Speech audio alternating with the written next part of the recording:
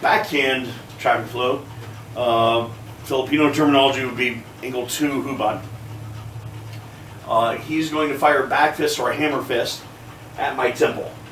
Uh, a common mistake people fall into on this is they start firing this at the nose.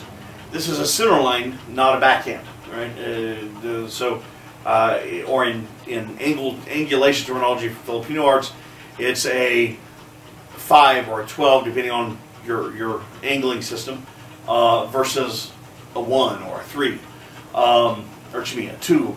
Yeah, it's a five or a twelve instead of a two. So what we're looking for is angle two, which is coming backhand towards this side of my center line. So I'm going to, I don't want to, again, I don't want to stop this. If I stop what he's doing, he gets to do something else immediately, right? What I want to do is redirect it, okay? So I redirect it and fire my own. Then he repeats. So what the trap we're looking at here is that if I leave this on, I get trapped, right?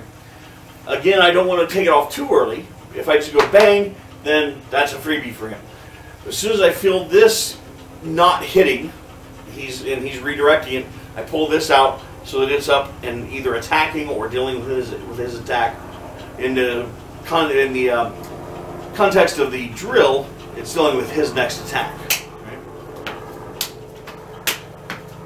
So as we're doing this, if I hit, if I come in too close to his elbow, I eat his elbow, or excuse me, too close to his wrist, I eat his elbow. If I come in too close to his elbow, he just extends and hits me as he wanted to anyway. So I want to go between those two, aim at the center of his forearm, I'm taking it down to clear my line for my attack, and I'm taking it in to trap. Okay?